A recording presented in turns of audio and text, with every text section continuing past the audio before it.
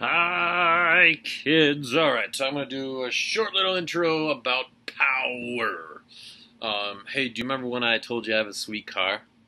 Remember how I told you my sweet car goes from 0 to 60 miles an hour? Yeah, that's right. My, my sweet car, it goes from 0 to 60 miles per hour. Isn't that super impressive? Oh, what's that? Oh, yeah, you wanted to know how much time does it take?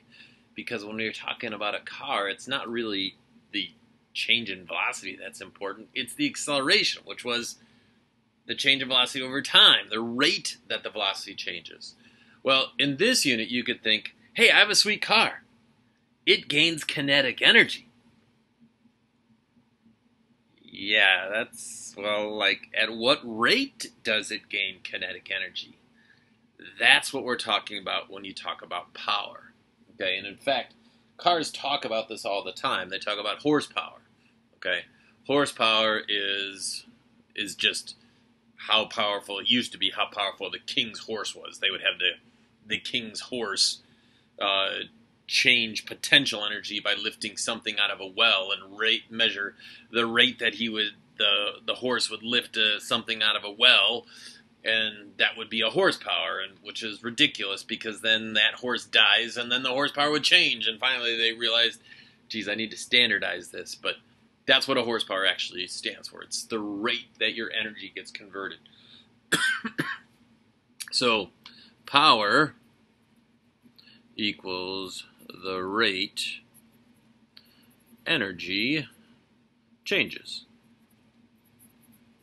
And if you look on your handy dandy formula sheet, okay, you will see it. It's. I'm to get rid of this part because that part's the gross memorizing part. But you'll see it right here, okay? That power is the change in energy over the time. Well, remember, okay, change in energy, oh yeah, that's just work. So, you know, power is defined as, okay, the formula for it, capital P for power, is going to be change in energy over time.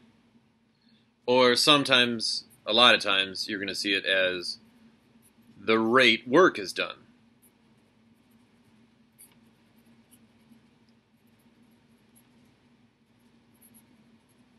So if you want to determine your power, you got to do some work and measure your time. Okay, it's the rate work is done.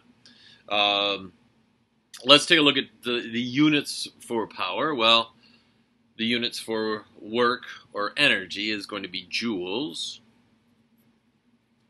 And the units for time are going to be seconds.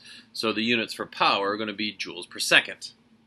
Okay, let's see. Does joules per second have another name? I, I just can't think of what it is. Hmm.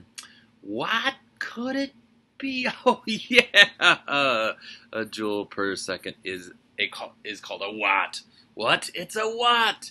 And I know that joke is never ever gonna get old. So the units are going to be watts. What watts? But just remember, a joule, a watt. What? A watt is really a joule per second. Okay. So just so you know, a watt is a watt. What? A watt is a watt.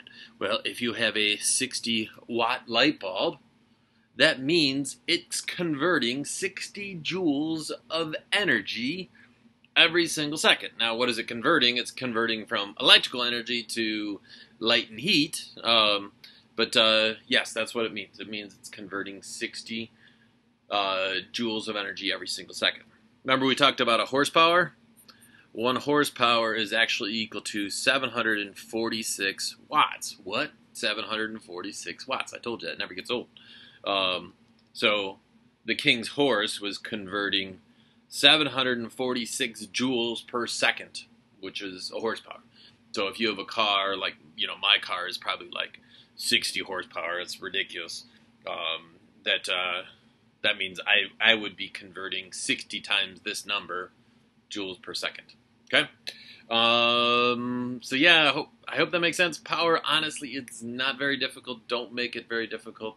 Um, how do you find it? You just have to measure the rate that work is done. One last thing, I just want to make sure that this makes sense to you as well, because every so often you'll see this just so you you got it. So power is work over time. Okay. Work, as long as you're talking about a constant force, it's this. But I want to show you d over t. Oh, yeah.